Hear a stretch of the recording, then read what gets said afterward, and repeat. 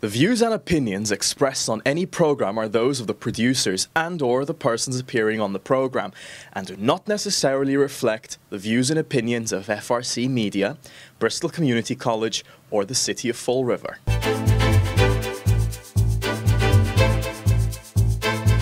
Thank you for joining us on this Wednesday here at FRC Media. And just about every Wednesday, we spend a few moments with the mayor of the city of Fall River, Mayor Paul Coogan, who joins us again this week. Mayor, how are you? Doing good. Nice day. Going great. I know it's a good start to uh, to our early fall season. I actually want to start with uh, something that actually happened on Friday. We didn't have the opportunity to uh, speak of this last week because we record on Wednesday. It's the um, move uh, uh, mutual agreement between yourself and Police Chief Paul Gauvin. Uh, the chief will be stepping down as chief and will be resuming his duties, his previous duties as captain of the major crimes uh, division in the police department. Let me ask you, Mayor, uh, what what went into that uh, that this, that mutual decision? Uh, a number of discussions throughout the last year um, between myself and the chief. We also met with the union, both superior and patrolmen, um, and you know, for the sake of the city and the department, the chief the chief decided uh, he would like to relinquish that role. Um, I believe uh, that's a, a great move by him because it shows how selfless he is in trying to help the city. I think he'll um, excel in his next position. And um, I believe uh, we're looking forward to some uh, changes both in major crimes and in the uh, in the in the Fall River Police Department. So let me ask you, how did you characterize? How would you characterize uh, his his uh, role and his performance as chief over the past couple of years? You know, it's funny because uh, this, like I said, this is my uh, my third chief. I've only been here five years, and they just keep going. But I, I thought about the same thing in relation to school superintendents. I thought, I think, uh, I think these jobs are very, very stressful. There's a, there's tremendous scrutiny on the on the police right now throughout the country, whether it's uh, post in Massachusetts, particularly, or recruiting, or retention, or uh, community engagement. There are so many facets now in a police chief's job that it does put a tremendous stress on anyone that has that position. Um, and I think, you know, the chief uh, did a good a good job while he was here, but he uh, he decided that um, you know he may be better off doing something different. And you know, we wish him well. We wish whoever replaces him well, and we want to see what uh, what the future holds for the Fall River Police Department. I think overall, I think uh, the guys, the actual people on the streets, uh, the people in in the main office, they all do a great job. They really they really work hard.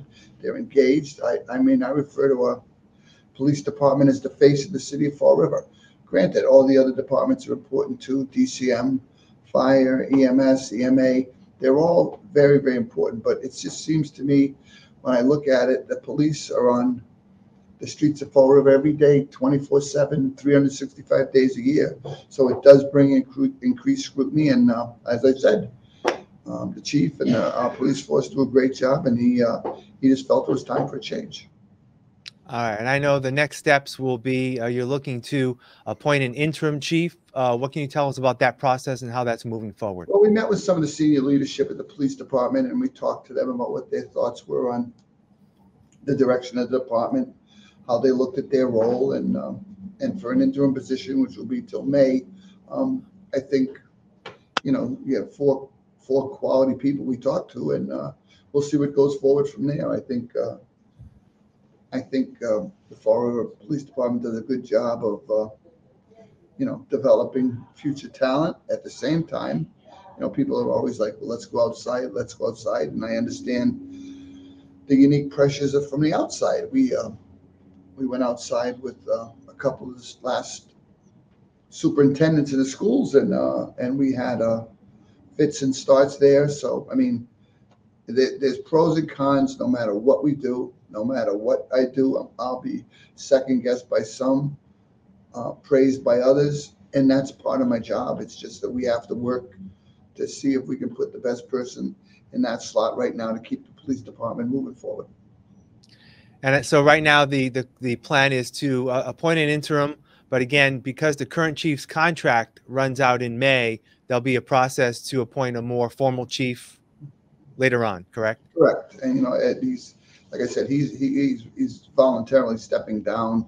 Um, and, and we're gonna accommodate Paul, uh, to the best we can and we'll, uh, see what we can do with an interim. All right, moving on, the uh, Fall River Educators Association still negotiating with the uh, the school committee in terms of trying to come to terms on a new three-year contract. Uh, they've been working without a contract since school started in late August. The school committee held a special uh, meeting this week to go into executive session to discuss not only that contract negotiation but others as well. Um, can you give us some insight, Mayor, in terms of you know uh, I know you can't get into any specifics in terms of uh, negotiations and offers that may be or not be on the table. But you know, what generally is discussed in those meetings, and what role do you and the school committee play in working with those negotiating on behalf of the city uh, when you have those types of meetings? Well, our lead negotiator is Attorney Bruce Assad. He's done a number of contracts throughout the years. Um, and he understands how this works, the ups and the downs. And uh, he comes in and we sit around the table back in one of the music rooms and we listen to the last set of proposals from the teachers. We match that up with the proposals we've made. And uh, then the seven of us, along with the superintendent, kick around ideas and things we may be able to do to uh, to improve our offer. I know the teachers um, do the same thing. They sit around a table and look at things they could do to improve their offer.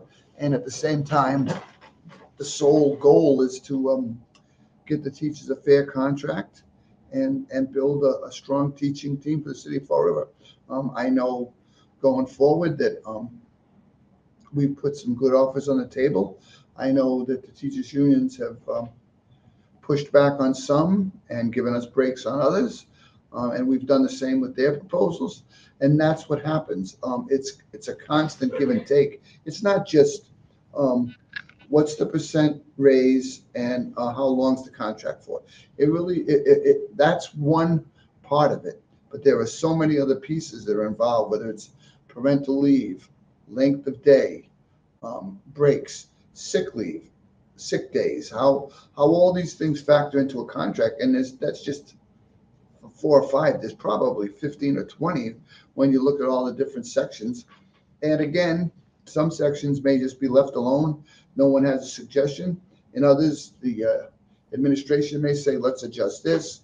And the next one might be the teacher saying, let's adjust that. So there are just so, it, it's really, when you go in and look at all the breakdown on all the paperwork, there's so many pieces that are moving all the time. Um, when you have a staff of eight or 900 people, there are just so many issues that come up and you want to try to do the best job you can for the, uh, for the taxpayers. At the same time, knowing full well that we have um, a responsibility, recruit the best teachers to work with our kids. It's, uh, I know it's, uh, it's going to be, um, a raise, a significant raise for our teachers. They've, it's been all over Facebook, so I'm not telling you anything different. Um, but I think the kids are worth it. I think, uh, you want to attract the best teaching staff you can. You don't want to get left behind by neighboring communities that are paying X thousands more every time someone comes up for a job. So that's where we are. We're trying to make ourselves competitive, again, with the cooperation of the uh, FREA and uh, setting some goals to get this done. We, uh, we have another negotiating session scheduled and, and we'll be there. Um, and I'm sure they'll have some changes and um, I'm sure we'll have some changes too. All right, moving forward. Uh, last week we touched a little bit upon uh, the uh, happenings going on on Pleasant Street. Of course, the city has done a uh, a plan to sort of revitalize uh, that neighborhood, and I guess some work has started uh, on some storefronts and also some potential infrastructure projects. So tell us about Yeah. that. Uh, we met the other day. Uh, the first storefront has started right now at White Rose Bakery. I saw they tore down that old awning. And uh, they've gotten to work on that before they move up the street to Gilbert's, which is a, a three storefront, a three business storefront that'll make the place look a lot better. Um, and again, we're waiting to hear from the person that bought those two uh, large buildings that have been eyesores on Pleasant Street for a long time. We, um, we have that grant from the federal government. Um, and we're looking at the potential uses of that. whether it's um, sidewalks, streets, uh, period lighting. Um, some of the things we want to do to start beautifying uh, Pleasant Street. It takes a lot longer than I ever wanted it to, but um, I can see now um, there is a light at the end of the tunnel and progress has begun. Um, hopefully, we can get some money into the Night Owl Diner and get that reopened again. That's the owner's goal, and we'll work with them on that. These are all little pieces that kind of look, it's funny because it kind of looks disjointed as we go along here, but at the same time, as these pieces link up, I think we're going to get something going on Pleasant Street that uh, it's going to be much more attractive to the community. Have some businesses in there that are moving, and um, go forward with this renovation. We've we've uh, we've just started to. Uh, this is just the tip of the iceberg. Yeah.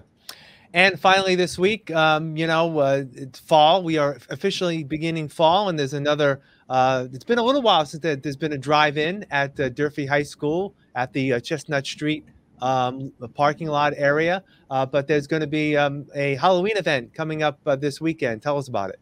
Yeah, it's going to be Hocus Pocus 2, October 4th. It's at the uh, the old Durfee Auditorium behind Spencer Borden. Um, that movie's going to start around 7, but prior to that, we're going to have a bunch of people there doing trunk or treat for the kids, and hopefully we have some. Uh, we're going to have the haunted trolley, and we're going to have some games for them to play. And it's an evening out, and uh, as you said, with drive-ins, it seemed like during COVID they came roaring back, but then they kind of faded out a little bit on us. So we're not going to do as many, but at the same time, it's a nice night to get together with the family, bring popcorn from your house, and sit there and watch a movie, just like in the old days of the drive-ins. And uh, we would love to have a big crowd up there, and and hopefully we'll see everybody there on Friday night. Yeah. The weather's supposed to be nice as well. You know, I did say the weekend, but it's actually, as you said, it's Friday evening, this Friday, October 1st at uh, Durfee High School.